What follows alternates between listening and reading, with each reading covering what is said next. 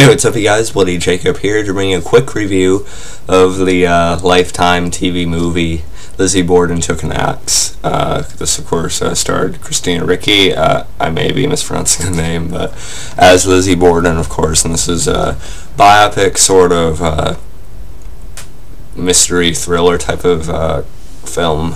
Um, I watched this off of my girlfriend's recommendation. Um, you know, she uh, had watched it on Netflix, and I did the same.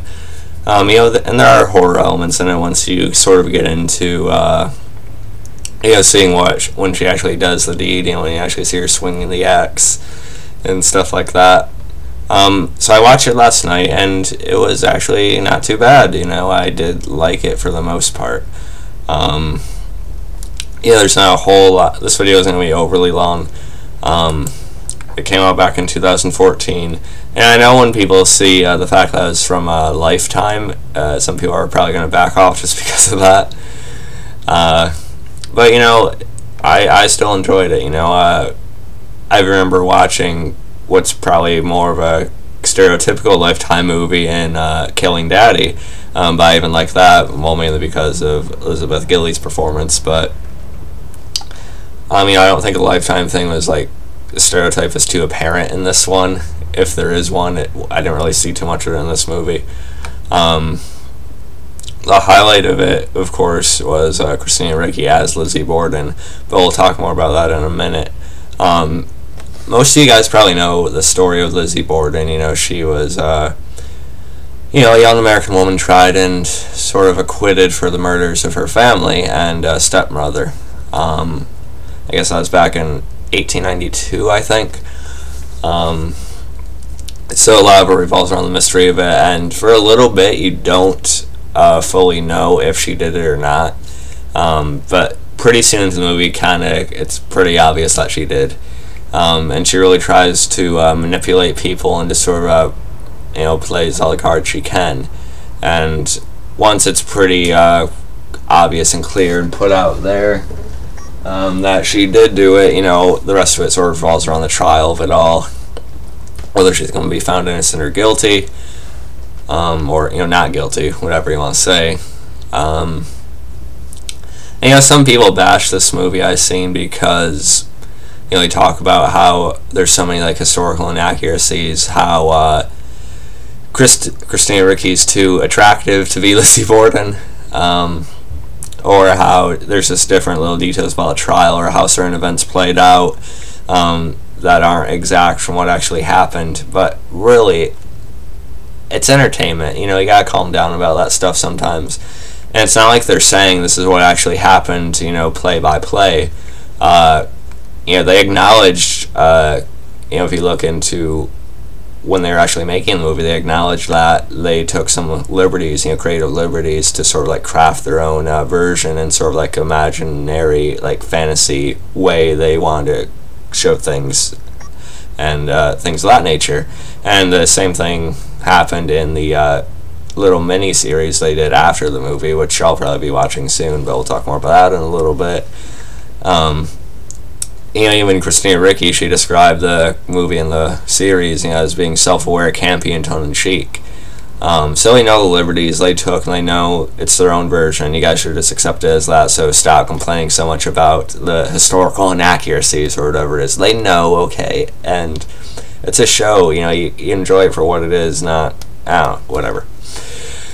Um, but overall, it was pretty good. Um, you know, it wasn't, I won't say it was amazing or anything, but I think it did what it was setting out to do. Um, the acting, for the most part, was pretty good. Um, like I said, Christina Ricci was definitely the highlight of it. She really, I felt like, embodied sort of like that personality and sort of like a distant, like, uh, creepy, sort of just like weird uh, personality that she was meant to have uh, in the role. I think she really did well with that. And you know, again, she's not hard to look at, so that helped too. Some people are gonna complain about that, but um, the rest of the cast besides her is all right. You know, no other like real standouts besides her.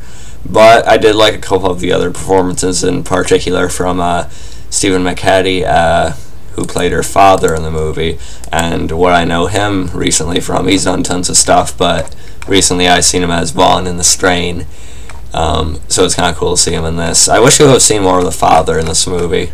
Um, you know, he was only around for a very limited uh, period of time before we sort of, know, see him with his uh, face basically axed in. um, but he still played it well enough, I thought. And then the guy who, uh, think it was Gregg Henry. Um, I think he's the one who uh, played the uh, attorney or like the uh, guy who was basically trying to prove that uh, Lizzie was guilty. Um, I thought Gregg Henry, yeah, that's his name. He did a good job. Um, so Christina Ricci, Gregg Henry, and Sue McHattie were probably the highlights of the cast, and Billy Campbell. Um, he played uh, a friend of her father's who was trying to actually defend her. He was recently on the show called Helix. He was fine too. Um, and also, who the girl who played her sister, um, I think Clay Duval, Clea DuVall, I think that's what her name is. yeah, she was fine too. Um, although she looks, you know, quite a bit older than Lizzie for some reason, even though the actresses aren't that far apart in age. Uh, Lizzie just, lo- I mean, uh, Emma just looks quite a bit older than her for some reason. I don't know. But uh, anyway. Um, so you know, decent performances all around. Christina Ricci really uh, makes it though. It, she's the one that kind of holds your attention, obviously, because it's about her, and she did pretty well with it. And the movie itself, you know, it plays out like a mystery thriller, like I sort of talked about before. Um, like I said, going with the trial, and then there's a certain point where you know for sure she did it. You know, we see more flashes for actually using the axe or hatchets or whatever you want to call it.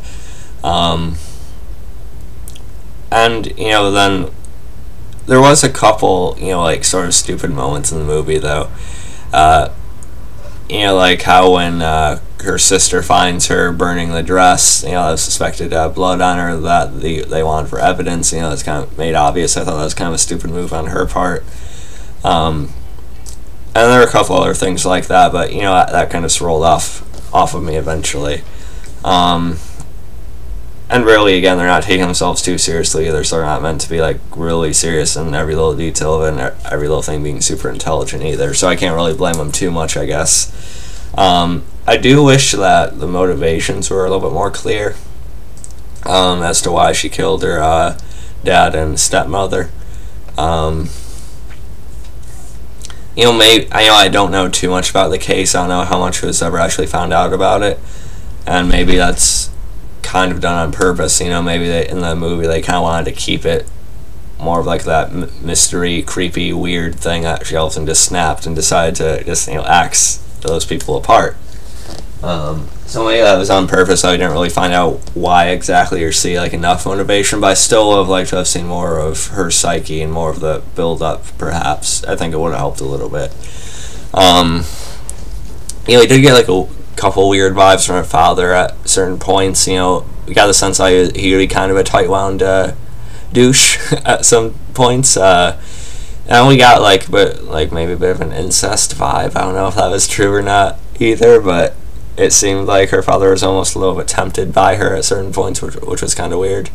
Um, you know, so there are things like that, but you know, nothing that really showed that she should, you know, murder them or anything. Um, and, her, and her stepmother is a kind of a bitch too. Uh, but again, I would like to see more of the motivations, but, but again, it's probably playing on uh, how little we actually know anyway. Um, and, also in real life, I don't think anyone was ever actually convicted of it. I could be wrong. And then he also had like another guy murder someone with an axe as the trial was going on, so that caused some other confusion. Um, you know, so the plot, you know, itself is very simple, uh, very, I don't want to say by the books, but kind of straightforward with going through the trial and the whole mystery of it all and stuff. My favorite moments, though, personally, were actually seeing the flashes of her, uh, you know, killing her father and the mother. Uh, as a horror fan, that's definitely the best uh, part. Seeing Christina Ricci come down with the axe and seeing blood splatter and stuff, that was pretty cool. Um, and of course, the and also when she actually tells her sister she did it, that was a pretty uh, creepy scene as well. I, I like that quite a bit. Um, of course, she's said to be not guilty at the end, and uh, we basically just see uh, Lizzie whisper in uh, Emma's ear, and then we see the flashes for doing all of it, and we just this is actually pretty good performance from uh, Clea DuVall here, her sister. Um, just seeing her, you know, just the tears coming down her eyes and how like uh, uncomfortable she's getting and stuff is pretty good. And then her sister just leaves after that, and we we see something that says, you know, they never seen each other again, or they never really cared to. Um, so that's where that was left. That was a, a pretty good ending to it. Um, and then you Lizzie walks outside, and we get sort of the rhyme. We see three children uh, jumping rope. Uh, sort of reminded me of Freddy Krueger. uh, but we get the Lizzie Borden rhyme. Lizzie Borden took an axe. She gave her mother 40 whacks. When she saw that what she had done, she gave her father 41. Lizzie Borden got away for her crime she did not pay. Um, so I like that quite a bit too. It's creepy and definitely have that uh, nice type of vibe to it. Uh, again, remind me of like the Freddy Krueger one, two. You know, I don't want to say now. One, two, Freddy's coming forward. It kind of felt like that, so I approved of that part of it. Um, and something else I should probably touch on uh, before I close off the video. Um, people also complained heavily about the uh, soundtrack in this movie, or the music, or the score that went along with it. You know, it was uh, modern music. You know, it wasn't. You know, it's a period type of uh, mystery thriller, and so people were a little bit put off that they had like modern music into it, and I kind of would be too normally, because uh, people are probably wanting that slower, more uh, slow burn type of build up with uh, you know more old school music or more simple music, and I get where people are coming from on that, but I do think people are bitching way too much about it. For me personally, it didn't hurt the movie as much as as I uh, thought it might. Um, like immediately when I watched the trailer, even I almost liked the uh, type of vibe and tone it sort of gave it. You know, I think the I almost think the modern music sort of helped with you know how crazy or like rattled her mind was. You know, it really gave it a nice vibe. The music that went with it. Um, I almost think it worked for it in a certain way. So I actually ended up having no problem with it. I actually think it worked. Um, but that's just me, I guess. My girlfriend actually didn't mind it either, though, so I guess it isn't. Um, but yeah, so overall, I thought it's a this is a pretty good one. You know, it wasn't uh, mind blowing or anything, but it did what it was supposed to, and we got a really good performance from Christina Ricci and some other uh, decent performances in there too. And it does make me intrigued enough to watch the uh, eight episode series they did after this. I know it got canceled. Um, but I'm wondering where they left it off in that, so I might check out the series, and when, if I do, I will give you my thoughts on it. Yeah, those are my thoughts on the movie. Overall, not bad. You know, I actually did like it. Christina Ricci was really good. The rest of the cast is fine. Um, did have some creepy, uh, weird type moments I think worked for the score. I actually think really worked for the movie. And yeah, so I hope you guys enjoyed this video. Uh, my next videos will be, of course, the review of The 100, as I do every week, along with the Vampire Diaries and Originals uh, in a day or two. Um, they will be late since I'm working, but I'll get those out to you guys as soon as I can within the next few days, as usual. You can follow me on Facebook, Twitter, and look Peace.